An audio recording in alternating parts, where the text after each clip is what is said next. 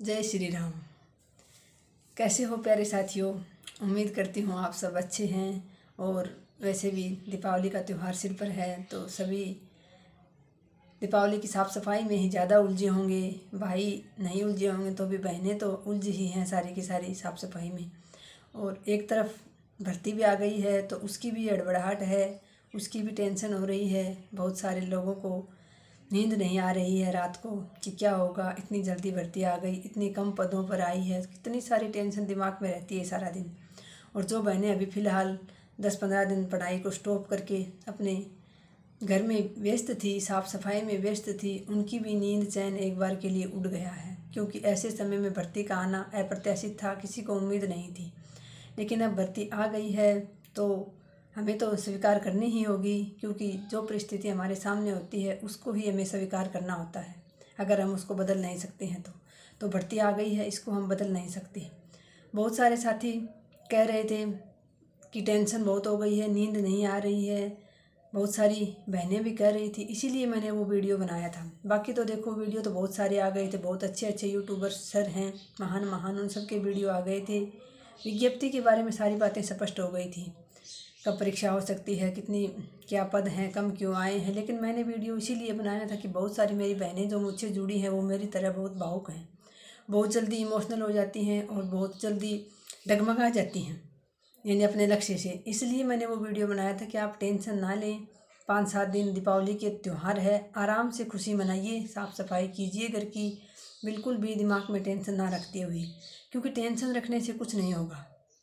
अब इतने टेंशन पाल लेते हैं कई कमेंट्स थे कल के वीडियो में कि रात को नींद नहीं आई, टेंशन हो गई। तो नींद आराम करने से क्या होगा, आप मुझे ये बताओ, क्या हमारे हाथ में है कि हम पदों को बढ़ा दें? क्या हमारे हाथ में है कि हम आज ही नौकरी लग जाएँ? टेंशन हमें उस चीज़ की होनी चाहिए जो हम कर सकते हैं, और हम कर सकते हैं सिर्फ़ और सिर्फ़ तैयारी। तो आप तैयारी पर ध्यान दीजिए। मैं तो ये कहूँगी, इकतीस को दीपावली है, एक दो तक आप अच्छे से दीपावली की खुशियाँ मनाइए।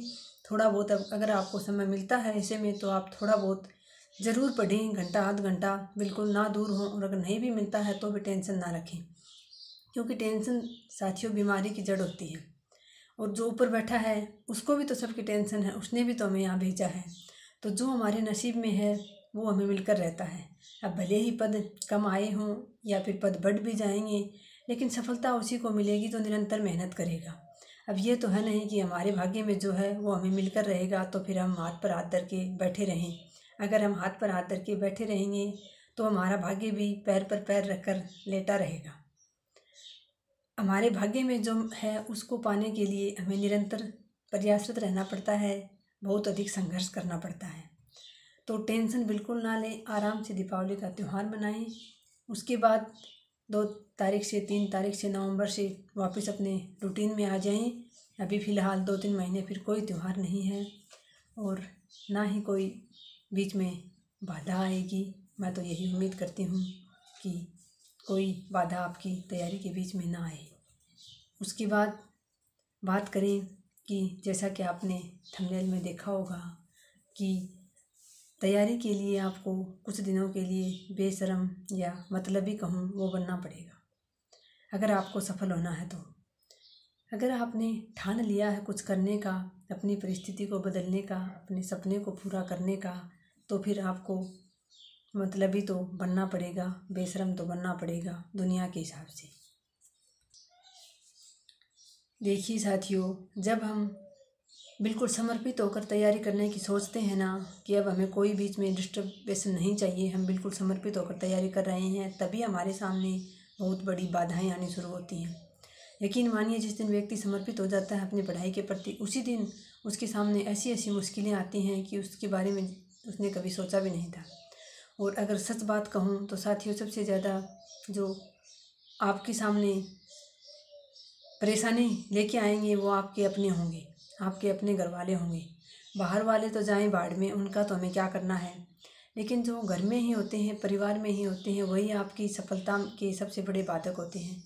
मैं ये मानती हूँ कि परिवार के बिना सफलता नहीं मिल सकती।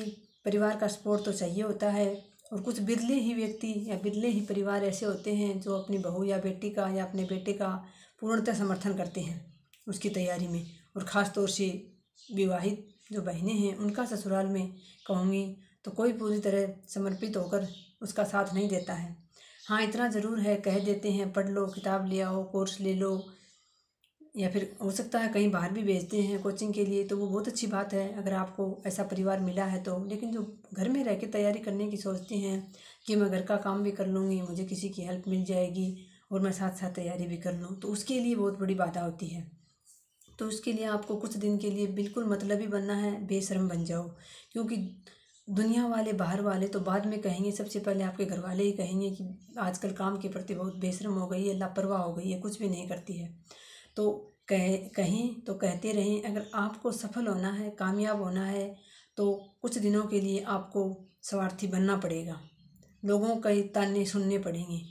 और ऐसा भी नहीं है कि आप सारा काम कर दोगे और आप तैयारी कर लोगे तो ना तो संभव है घर के काम, सारा काम घर का करके उसके बाद तैयारी। हाँ आप ज़रूर जो बहुत महत्वपूर्ण है, वो वो काम आप कर सकते हैं। मैं ये नहीं कहती कि आप काम काज छोड़ के एक साइड बैठ जाओ और अपनी किताब ले लो। ये तो संभव नहीं है, किसी के लिए नहीं है, लेकिन काम उतना ही करो जितना बहुत अधिक आवश्यक है। फिर आपको ये भी सुनने को मिलेगा कि आजकल उधर झाड़ू नहीं लगाती है, उधर वो नहीं करती है, उस पर ध्यान नहीं देती है, इस पर ध्यान नहीं देती है तो वो सारी बातें एक कान से सुनो, दूसरे कान से निकाल दो। क्योंकि आप कुछ भी कर लो, चाहे, लेकिन फिर भी आप सबको एक साथ खुश नहीं कर सकते। ये तो आपने भी महसूस किया होगा।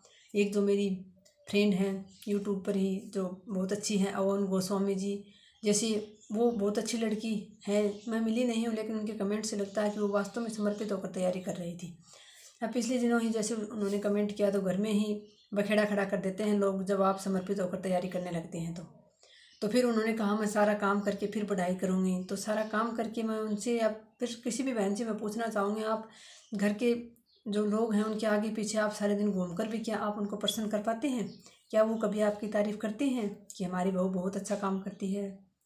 हमारी बहू सारा काम कर लेती है, हमें बहुत अच्छा समय पे खाना मिलता है, हमारी सेवा होती है, क्या कभी किसी ससुराल वालों ने कहा है?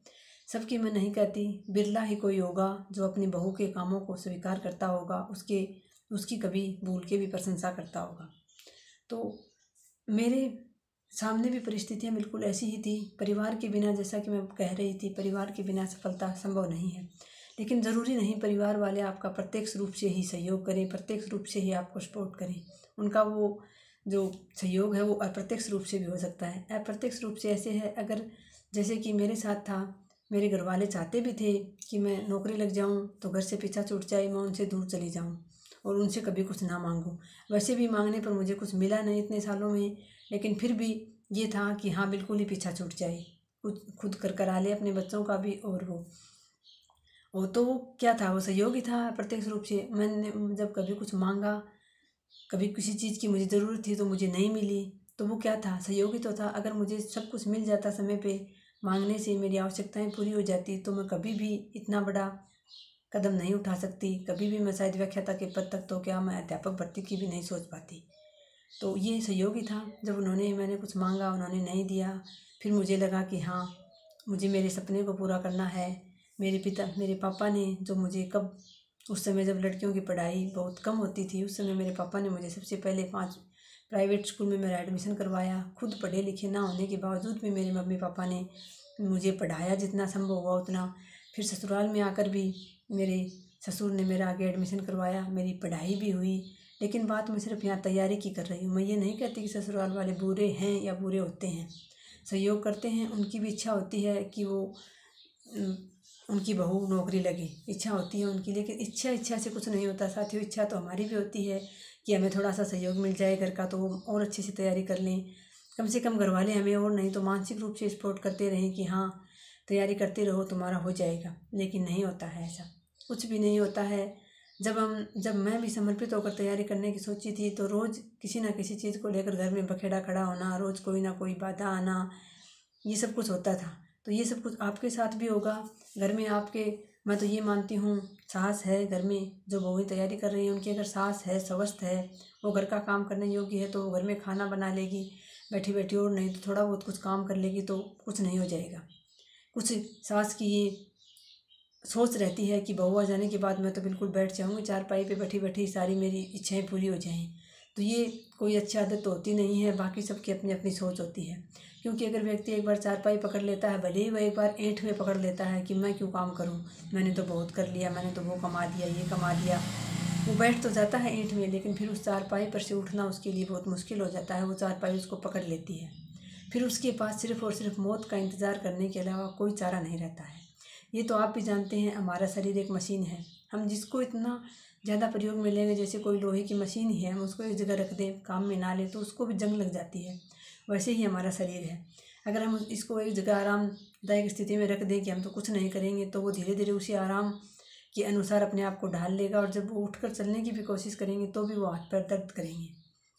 तो मैं तो यही कहना चाहूँगी, जो भी बहनें तैयारी कर रही हैं, उनकी सास, उनकी देवरानी जिठानी हैं, घर में, ननद है कोई अनमेरिड तो जो भी अगर मेरा कोई वीडियो सुन रही है तो मैं तो यही कहूँगी कि ज़रूर सहयोग करें। जब तक आपके हाथ पर चलते हैं, आप बिल्कुल ये ना सोचें कि मैं कोई काम नहीं करूँगी।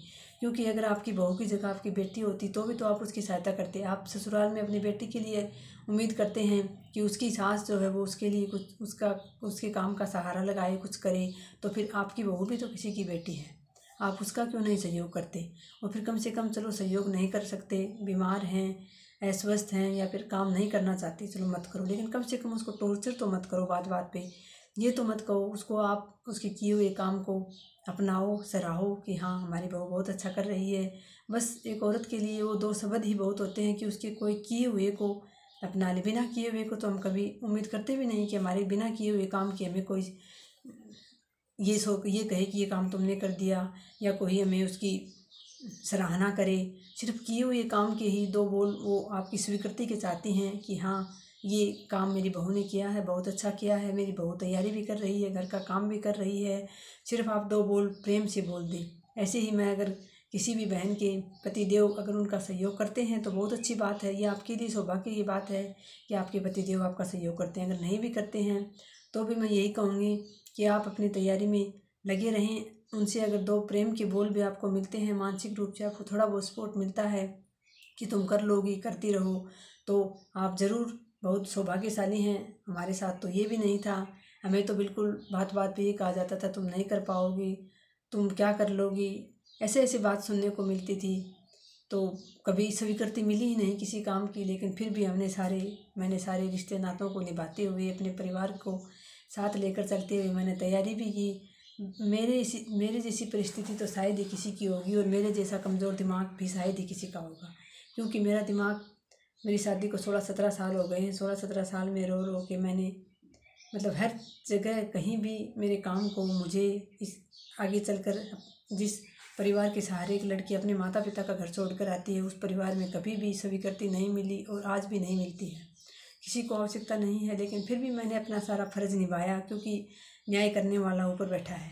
वो सबका देखता है कि कौन क्या कर रहा है। उसने जितना मैंने सहन किया, जितना मैंने मेहनत की, उसके अकॉर्डिंग उसने मुझे दिया भी है। आज एक राजपत्रित अधिकारी के तौर पर मैं सेवा में हूँ और अब भी मुझे कोई फ़र्क नहीं पड़ता कि घर वाले क्या सोचते हैं। मेरे बारे में वो मुझसे बोलना, चलना पसंद करते हैं, नहीं करते हैं। वो मुझे आज भी भले ही एक्सेप्ट नहीं करते हैं, लेकिन मैं फिर भी अपना फ़र्ज़ पूरा कर रही हूँ।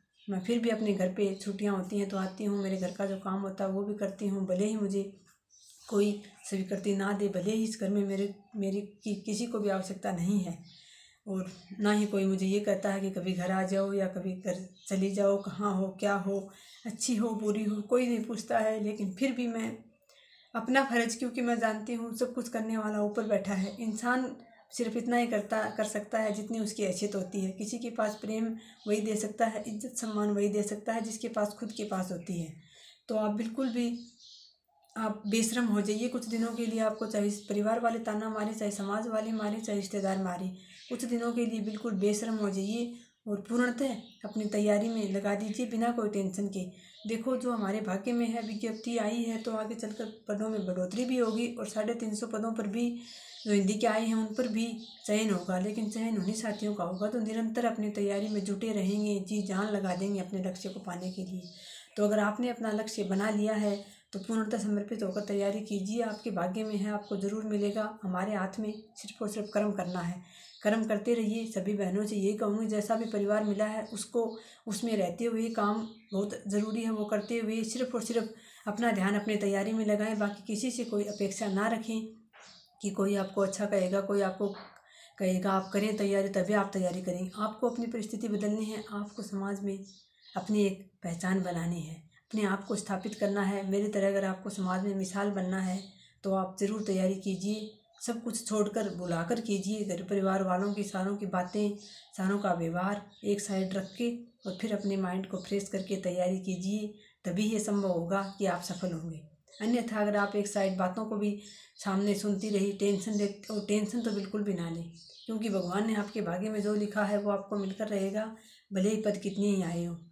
तो बिना कोई चिंता के और अपनी तैयारी करते रहिए। सभी बहनों से यही कहूँगी, अपने परिवार के साथ, अपने अपनों के साथ खुश रहिए खुशी खुशी दीपावली का त्यौहार मनाइए, अपने घर की साफ़ सफ़ाई कीजिए, उसके बाद नवंबर दो तीन नवंबर से फिर जुट जाइए अपनी तैयारी में। तो आज की वीडियो में इतना ही। मिलते हैं नेक्स्ट वीडियो में। धन्यवाद। जय हिंद, जय भारत।